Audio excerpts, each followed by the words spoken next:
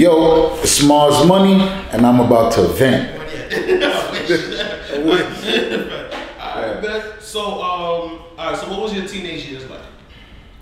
My teenage years was good, man. I was a good kid. I really was a good kid. Like, Mm-hmm. some people tend to shy away from that statement, but I really was a good kid. But you know what I'm saying? But I was grew up on a block that like it's a heavy influence on like brotherhood and friendship, and like only thing I adopted from being I was a good kid, but what I adopted was like don't let nobody try to play you or don't um you know what I mean you gotta be tough, you gotta be official. Yeah. So, you know what I mean? Authentic, official. So, other than being a good kid coming from a fairly decent household, you know what I'm saying?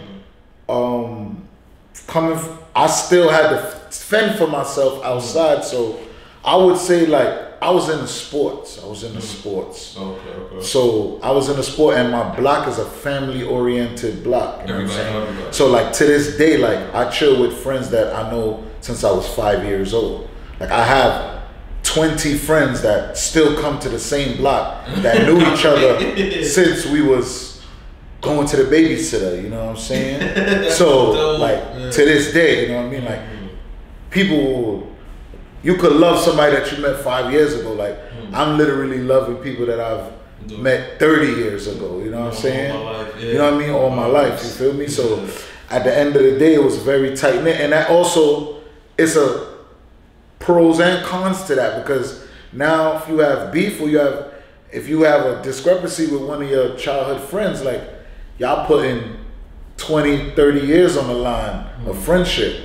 But that's what it was. So a lot of the things that would have turned another hood or another block against each other and killing each other, mm-hmm. we had to like kind of soak that up, and that caused us to have a lot of love for each other and mm-hmm. deal with each other a different way. Oh, A lot of manners Okay. All right. amongst the crew. a little bit more respectful. But like I said, I was a good kid.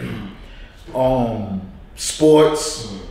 Playing, manhunt, mm-hmm. all the fly. You know what I'm saying? Running around. I just love being outside. That was that was my thing. Being outside, like mm-hmm.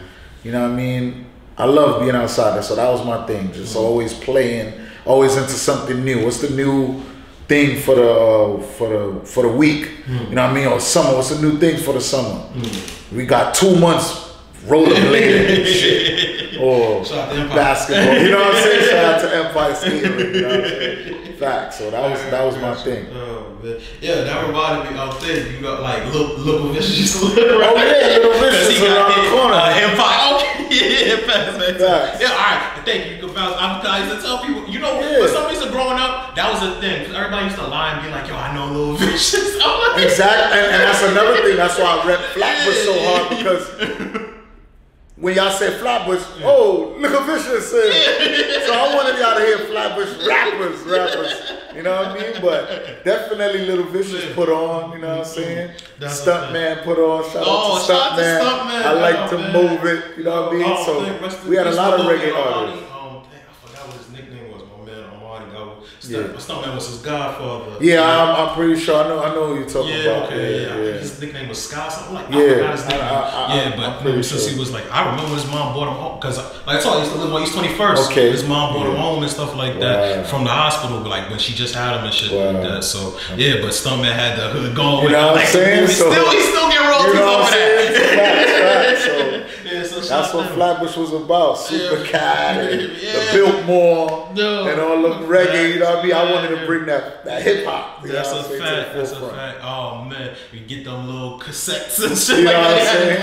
That's Hell a fact. yeah. All right, man. So It's your boy Marz Money, and I just vented. I want y'all to like, comment, and subscribe. Shout out Slops. Choo-choo.